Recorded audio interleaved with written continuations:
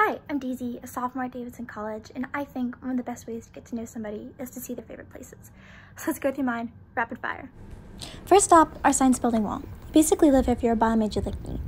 For me, biology is about providing the knowledge needed to protect people, which is why I want to study how environmental change will impact public health. Let's head to the old greenhouse where I do my ecology lab. My goal is to lead research into environment-related disease to minimize the harm climate change will have on our communities. While it's a long ways from that, working with the tadpoles in these tanks isn't a bad place to start. Being a peer health educator and part of the sustainability committee usually keeps me busy. But when I'm not tutoring, playing uke, or crocheting, I'll be at the Visual Arts Center. I picked the darkroom as my last spot because it's where my passions for science and creativity intersect.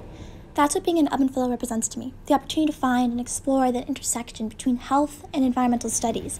Ubben will help me develop, for lack of a better pun, into a leader in my field. With the research experience I need to begin helping people and advocating for the changes in global environmental health I want to see.